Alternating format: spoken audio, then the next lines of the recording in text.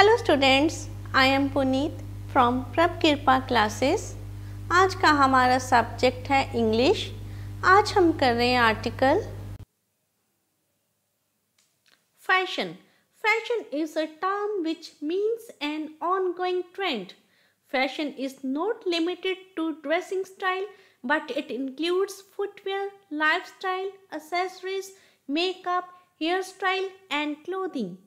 Fashions are influenced by colorful advertisements, popular films, fashion shows, articles in the fashion magazines, TV programs, and foreign visitors. Fashion does indeed rule the world.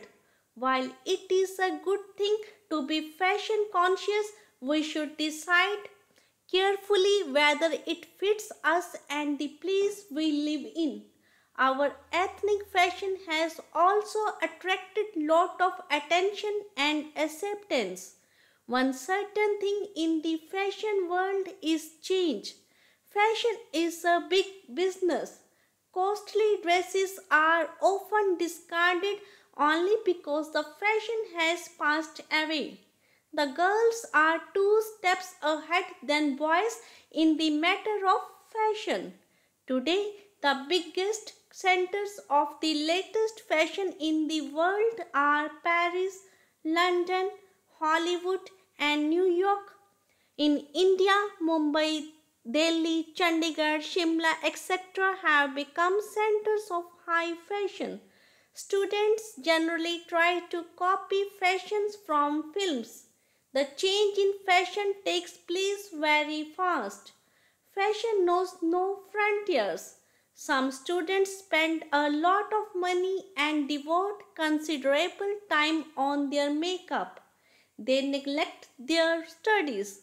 Now people are very particular about their dress, hairstyle, cosmetics, shoes, ornaments and manners. Westernized dressing style is not a bad thing but it must be decent. Change is the law of nature and so desirable and appreciable, but it does not mean slavish and foolish imitation of ideas, styles, and designs in dress, shoes, and hairstyles, etc. However, excess of everything is bad and should be avoided. Moderation should be the law in fashion as well.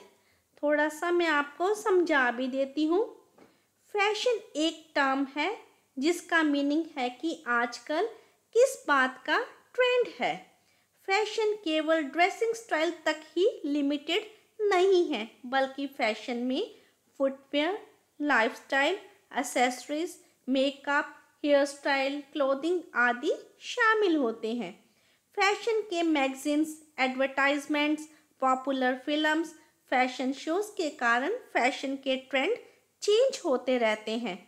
Fashion आज दुनिया में राज कर रहा है। ये अच्छी बात है कि हम फ़ैशन के प्रति जागरूक रहें, पर हमें इस बात का ध्यान रखना चाहिए कि कौन सा फ़ैशन हमें सूट करता है और हमें फ़ैशन लोकल इन्वायरमेंट के हिसाब से करना चाहिए। एक बात तो निश्चित है कि फ़ैशन की दुनिया में चेंज बहुत स्पीड से आती है। फ़ैशन एक बहुत बड़ा बिज़नेस है। कॉस्टली से कॉस्टली कपड़े इसलिए फेंक दिए जाते हैं कि इनका फ़ैशन आउट हो गया है। फ़ैशन के मामले में लड़कियाँ लड़कों से दो कदम आगे हैं।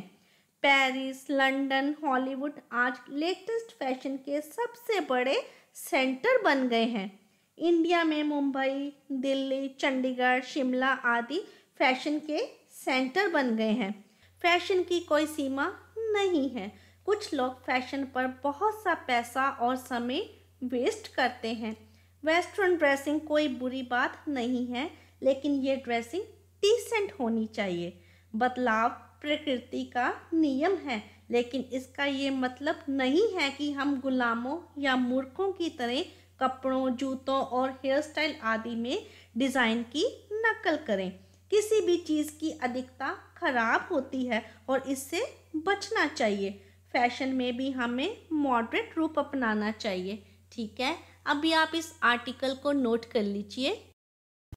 If you like our video please share and subscribe our channel thank you.